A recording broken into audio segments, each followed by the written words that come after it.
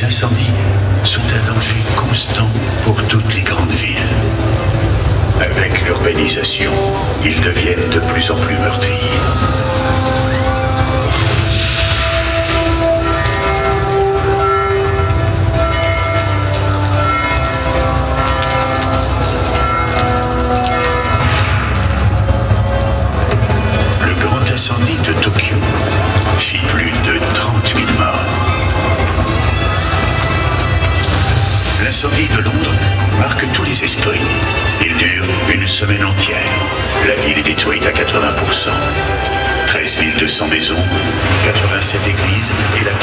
Saint-Paul partent en fumée. Les moyens de l'époque pour lutter contre le feu sont dérisoires. Depuis le Moyen Âge, on sonnait le tocsin pour donner l'alerte. Moines et bourgeois dirigeaient et organisaient. Les milices prenaient aussi leur part dans la lutte contre le feu. La population se rassemblait pour organiser la chaîne avec des seaux en cuir et des paniers d'osier goudronnés. On utilisait des échelles et des haches.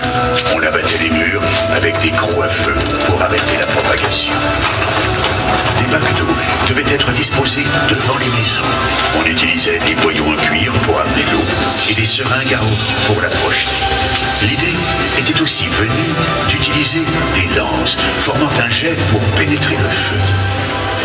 Avec la Renaissance, étaient apparues les premières pompes à feu, mais elles restent encore rares et très rudimentaires au XVIIe siècle.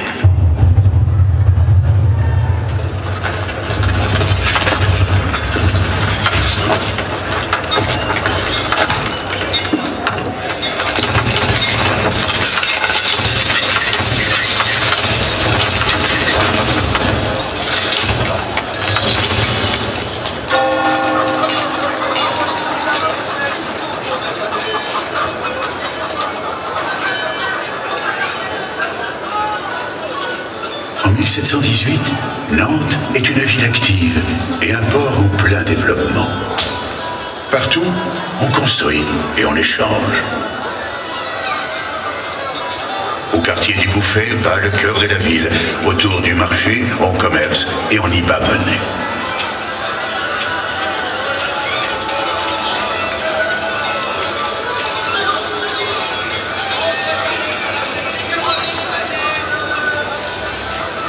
Entre la Loire, son estuaire et les océans, Nantes encourage la navigation, l'industrie, le négoce, jusqu'au sinistre commerce triangulaire, le trafic des esclaves. Mais dans une ville en pleine expansion, le quartier du Bouffet garde ses caractéristiques moyenâgeuses. Le Bouffet est vieillissant. C'est un quartier du Moyen Âge. Les rues sont étroites et insalubres. Les maisons sont construites de torchis et de pans de bois. Les habitations sont élevées et en surplomb. Tout est inflammable et on y stocke des matériaux dangereux.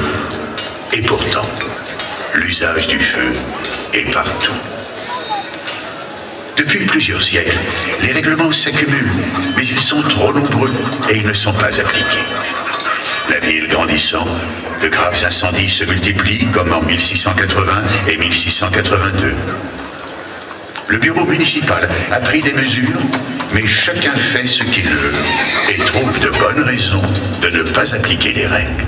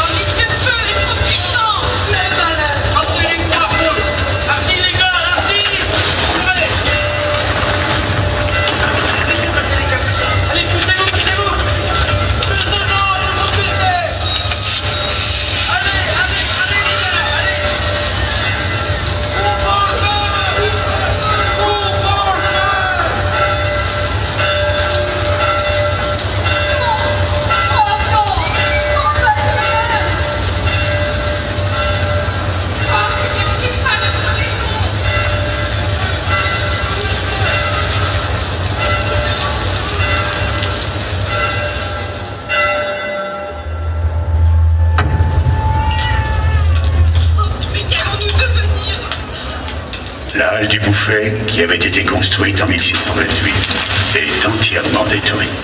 Ce feu a marqué tous les esprits. Les Nantais ont craint la disparition du centre économique de la cité. Ils ont vu l'insuffisance des moyens. La ville est lourdement frappée. Certains sinistrés sont ruinés.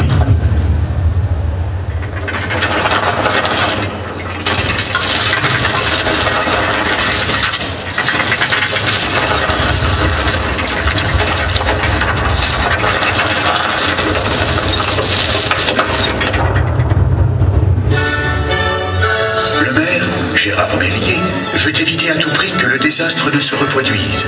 Il fait revoir les cheminées, rend les ramonages obligatoires. Il interdit les feux et chandelles dans les endroits où se trouvent fagots, paille, chanvre, résine, graisse, bois, salpêtre. Il fait acheter quatre pompes à feu et affecte 40 personnes pour les tourner et diriger. Il distingue les pompiers par des bonnets de marque afin qu'ils puissent être identifiés. En 1721, le maire réorganise le service lutte contre l'incendie et il crée le corps des pompiers volontaires de la ville de Nantes. L'ancêtre de celui que nous connaissons aujourd'hui et qui protège notre ville depuis bientôt trois siècles. En matière d'urbanisme, ce maire visionnaire décide de repenser l'urbanisme comme l'architecture. L'usage de la pierre devient systématique. Qui bâtit ou refait de pied maison de nouveau, la doit bâtir à plomb et à la ligne sans aucune saillie.